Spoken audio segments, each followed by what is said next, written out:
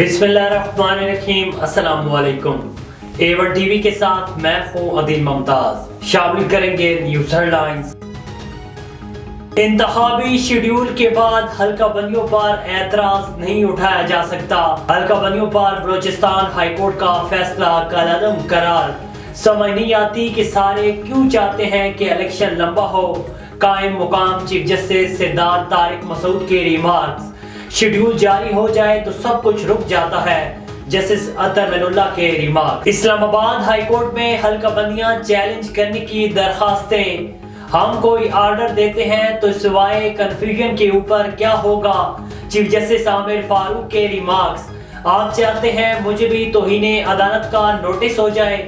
कोई कानून बता दें जिसके तहत हम अब इलेक्शन कमीशन को ऑर्डर कर सकें। पीटीआई इंट्रा पार्टी इंतबात के नतज कलदम करा देने की दरखास्तें। चीफ इलेक्शन कमिश्नर की जेर सदारत पाँच रुकनी कमीशन की समात।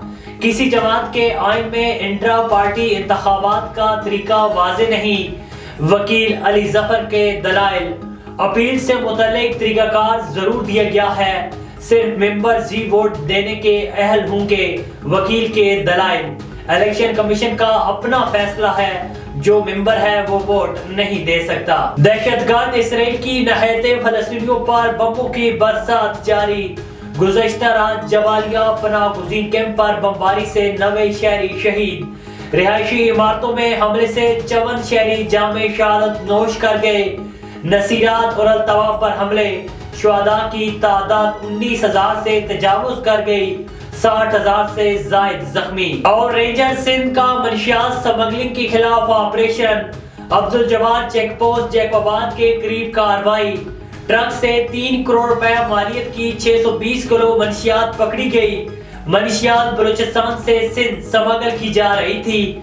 मुलजिमान चेक पोस्ट से कुछ फासले पर ट्रक छोड़कर फरार हो गए। हेडलाइंस आपने जानी टीवी के न्यूज़ स्टूडियो से फिल वक्त इतना ही मजीद खबर और अपडेट्स के लिए देखते रहिए A one TV A one TV सब पे नज़र अंदर की खबर।